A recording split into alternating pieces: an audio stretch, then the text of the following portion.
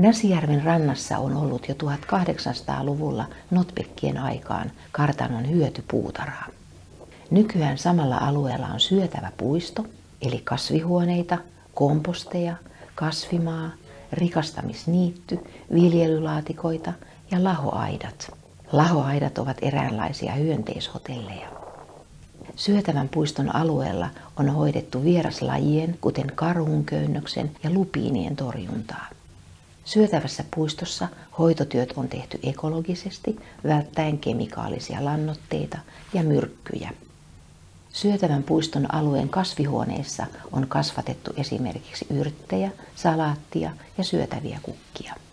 Kasvihuoneissa on myös kasvatettu kartanon historiallisten tammien tammenterhoista uusia puita. Syötävän puiston alueella on myös kasvimaa, jolla Pirkanmaan Martat järjestävät toukokuusta lokakuuhun ilmaisia viljelyneuvontatapahtumia.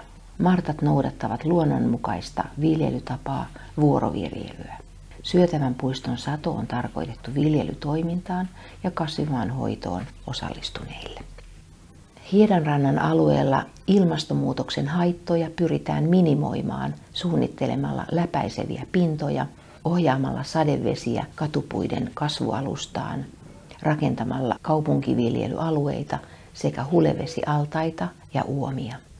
Villivyöhyke ry ja Tampereen kaupungin viherrakentamisen ammattilaiset ovat kehittäneet uutta toimintamallia, jolla alueille tyypilliset ja tärkeät lajit saadaan säilymään läpi rakentamisen. Hiedanrannassa tarkoitus on vaalia luonnon monimuotoisuutta useilla toimenpiteillä. Ennen rakentamistöiden alkamista Hiedanrannan alueelle ominaisen kasvillisuuden siemeniä kerättiin talteen. Tämän jälkeen tätä kasvillisuutta säilytetään ja kerrytetään hankkeessa kehitetyllä rikastamisniityllä rakentamisen ajan useita vuosia. Lopuksi kasvit siirretään rikastamisniityltä pysyville viheralueille. Liikenne on yksi isoimmista ilmastonmuutoksen aiheuttajista ja nopeimmin kasvava päästöjen lähde maailmassa.